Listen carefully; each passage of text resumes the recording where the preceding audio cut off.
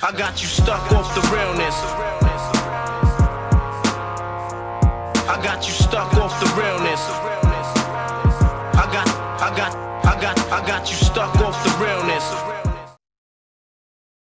I'm programmed with essential 21st century smack talk. Your mother is fond of Brainiac. Um, so let's just get into it. Uh, let's just, uh...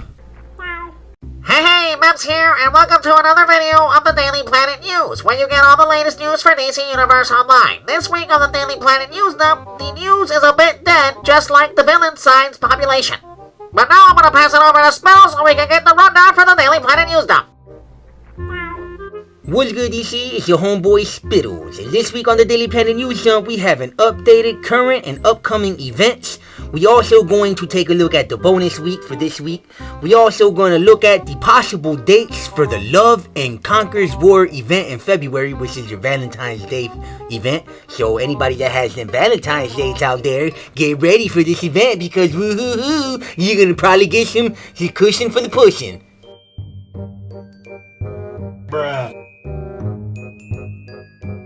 For our first news story, we are going to pass it over to our UI engineer because there was a server hotfix on January 18, 2024. Now I will meow to spawn him.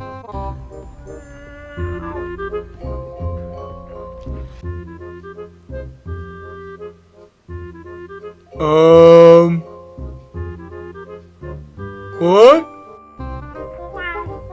I'm sorry, everybody. I believe the UI engineer is broken. Hang on. UI engineer, what's going on with you? The, the, the server hotfix, bro. What's up? Um. Oh, right. Uh, hi everybody, it is I, your UI engineer. So, on January 18, 2024, our server hotfix, some players were able to select the Lazarus Pit artifact, which was basically bugged. We kind of broke the game again. And um, we basically fixed this. And also, we put the Crack Source Chroma Pack um, in the marketplace because you know we need money here at Daybreak Games because we break the games. And uh, with more on this, um, I believe I'm going to pass it over to the Autobots. My name is Optimus Prime. We are autonomous robotic organisms from the planet Cybertron. But you can call us Autobots for short. What's cracking, little bitches? Toasty! Bruh. I apologize for our UI engineer. He's basically a wild card every time we bring him on the show. Well, now for our next news, we are going to take a look at the current and upcoming events updated. So right here we have the current and upcoming events and content. So we have a bonus this week, which Spittle is going to go over here in a minute. We also have the Love Conquers All Valentine's Day event coming in February and the St. Patrick's Day event coming in March. But right here, January 11th through February 7th, 2024 is the anniversary event. So with this, we can predict basically when the Love Conquers All Valentine's Day event is going to come out. So by my prediction, if the Valentine's Day event does not come out February 8th, 2024, then it will definitely come out February 15th, 2024. Bruh. We also have the PlayStation 5 and Xbox Series X port from the first quarter of 2024. This can be any time from now all the way down to the beginning of spring. We have no idea.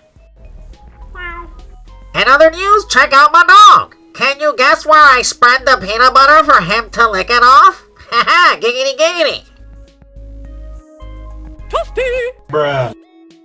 Us here at Daybreak Games understand that the player base all asked for double artifact weeks, but we're gonna annoy everybody and says no, screw that. We're gonna give you bonus catalyst week instead because we don't listen to the player base here at Daybreak Games. So for Thursday, January 18th through Wednesday, January 24th, 2024, Artifact Catalyst will have a chance to drop in the instances. Content in episode 31 through 46. And that pretty much wraps up the news for this week. I hope you have a good morning, good afternoon, good evening, and good night. And we will catch you next week on the Daily Planet News Dump.